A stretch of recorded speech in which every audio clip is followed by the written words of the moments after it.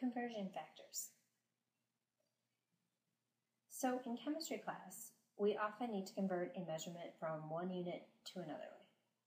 One way of doing this is to use a conversion factor.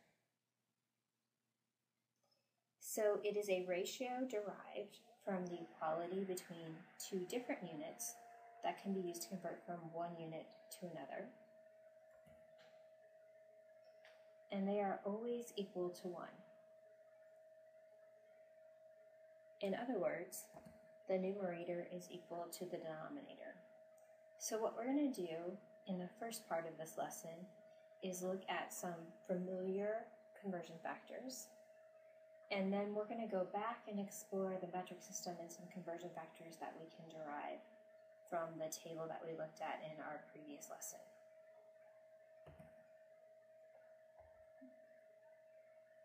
For example, if we're talking in terms of money, we know that four quarters is the same thing as saying that I have $1. So we can set up a conversion factor that has four quarters in the numerator and $1 in the denominator. And we can even flip this conversion factor where we could have $1 in the numerator and four quarters in the denominator. Now, obviously, we don't use quarters and dollars in chemistry, but we do take measurements. So let's look at if I were to use a ruler, now this isn't the metric system, but something you're familiar with. We could look at the relationship between inches and feet. So we know that 12 inches is the same thing as saying that I have one foot. And again, we can put 12 inches in the numerator, one foot in the denominator, or we can flip this conversion factor and have one foot in the numerator and 12 inches in the denominator.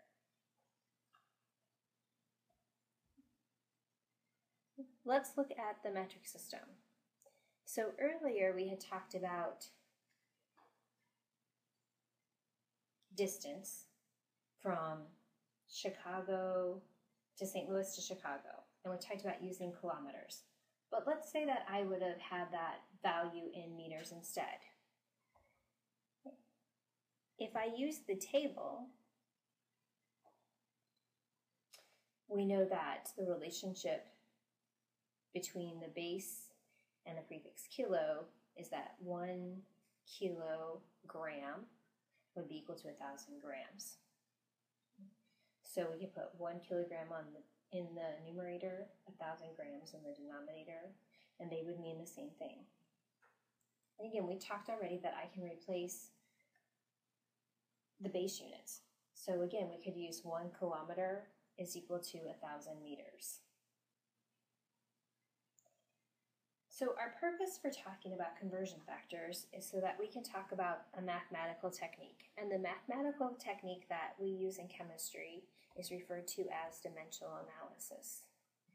And the definition for dimensional analysis is that it is a mathematical technique that allows you to use units to solve a problem involving measurements. So think about it this way. When we set up a problem, we're going to plug in the units first and then plug in the number values that match those units. And, you know, you can come back to these lessons at any time, but also your textbook has some really good resources. So in your textbook on page 13, there is a skills toolkit that will kind of walk you through what we're going to look at on the next slide. So I'm given a problem to solve in chemistry class. And there are two things the problem is always going to give me. It's going to give me a number with a unit, and it's also going to give me the unit I want my final answer to have. And we're going to use these two pieces of information to set up our problem. So the first step is always that we're going to plug in the number and the given unit from the problem. And then at the very end, we're going to put in the unit we want to, our answer, our final answer to have. Now, how we get from the given unit to the wanted unit is the term we looked at earlier, which is the conversion factor. So we're always multiplying by a conversion factor. Conversion factors always have a numerator and a denominator. And we know this, that I need the given unit to cancel, so it is going to go in the denominator. And I want my final answer to have a specific unit, and that's going to go in the numerator. And here we can see that the given unit cancels. And we're going to plug in numbers into that conversion factor that are going to make the numerator equal to the denominator.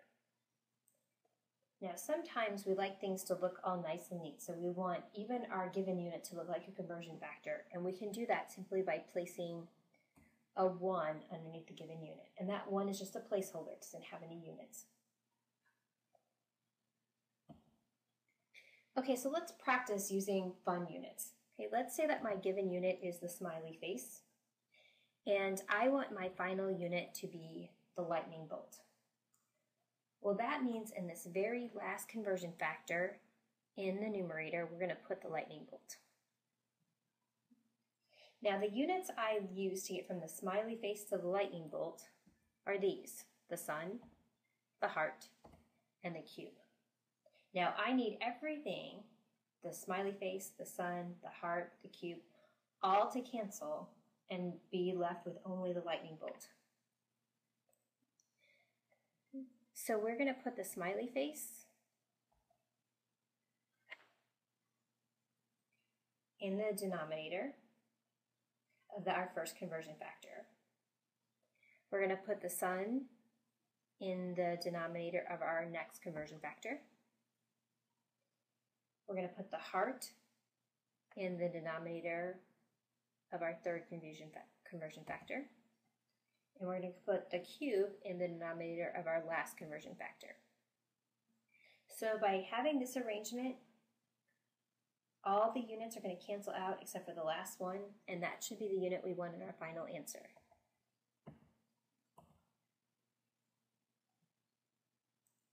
And so this is the technique we're going to use throughout your chemistry career. We're going to use this technique in our model or practicing converting within the metric system.